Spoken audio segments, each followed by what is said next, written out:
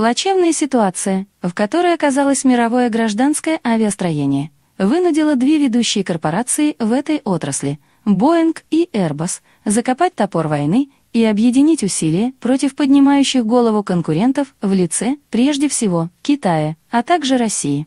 Есть ли реальные шансы у Пекина и Москвы подвинуть производителей из США и Евросоюза на авиастроительном рынке, где те традиционно доминируют? Прежде всего, необходимо сказать несколько слов о сути разборок между двумя корпорациями. Адептам либерального экономического подхода, свято верующих в честную конкуренцию и невидимую руку рынка, будет полезно узнать, что и Boeing, и Airbus крепко сидят на игле бюджетного субсидирования. Да-да, частные компании, блестящий пример успеха по западному и образец для подражания, поддерживаются на плаву только за счет государственного финансирования, понятное дело, скрытого, в виде налоговых льгот и прочих преференций. Так, например, Boeing, имеющий гражданское и военное подразделение, получает средства от Пентагона на разработку боевой техники по завышенной стоимости контрактов, но часть этих средств, а также создаваемые при этом технологии, идут на производство мирной техники.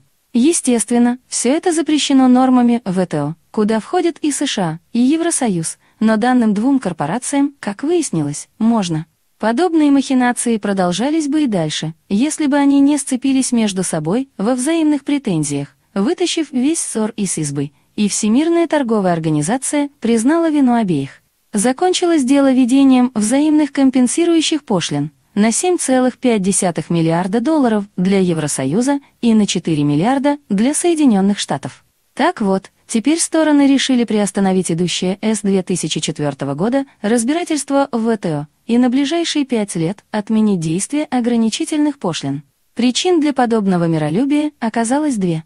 Во-первых, сегодня авиастроительная отрасль во всем мире находится в тяжелейшем системном кризисе. Из-за пандемии коронавируса резко упал объем воздушных перевозок, а также спрос на новые самолеты. У Боинг дела обстоят особенно плохо из-за проблем с его неудачным 737 МЭКС, угробившим сотни пассажиров.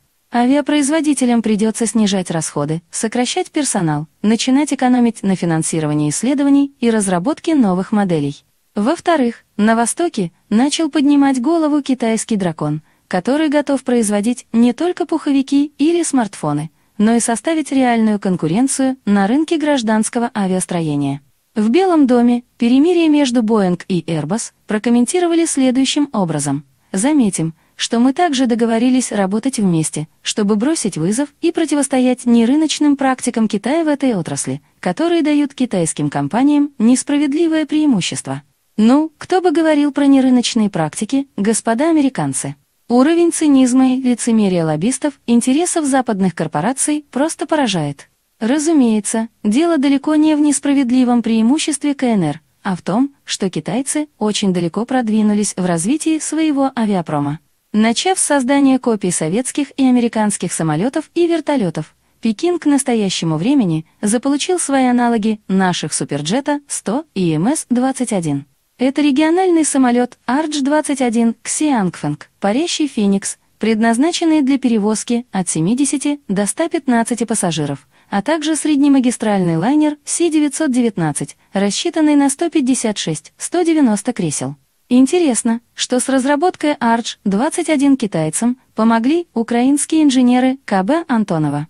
Что касается среднемагистрального Си-919, то правительство КНР даже не скрывало намерения избавиться от тотальной зависимости от США и ЕС и создать свой аналог Airbus A320neo и Boeing 737 MAX, а также с российского MS-21. Еще одним перспективным проектом является широкофюзеляжный дальнемагистральный лайнер под названием КАР-929, разработанный совместно Китаем и Россией.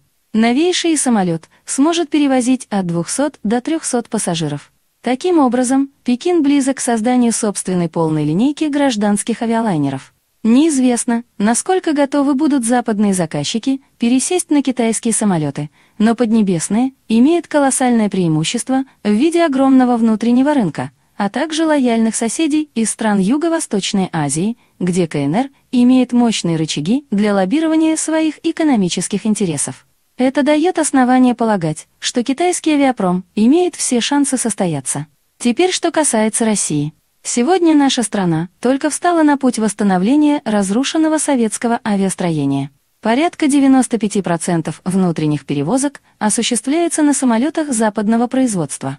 В рамках программы импортозамещения до 2024 года необходимо завершить проект Сакхой Сапарджет Нью. Обновленный ближнемагистральный лайнер должен полностью состоять из компонентов, произведенных в России, чтобы ликвидировать опасную зависимость от иностранных поставщиков.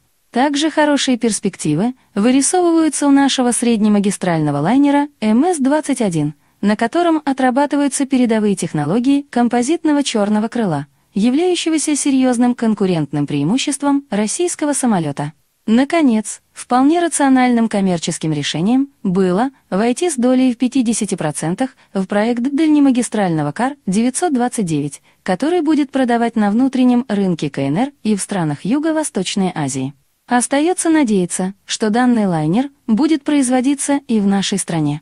Возможно, что после завершения разработки мощного двигателя PD-35, предназначенного для КАР-929, получит новую жизнь в виде народного лайнера, доработанный двухмоторный Ил-96. Технологический задел у нас для всего этого есть. Необходимо ставить отечественные самолеты на крыло, готовить соответствующую инфраструктуру постпродажного обслуживания – и постепенно замещать ими иностранные на внутреннем рынке, а после подумать о полноценном выходе на зарубежные.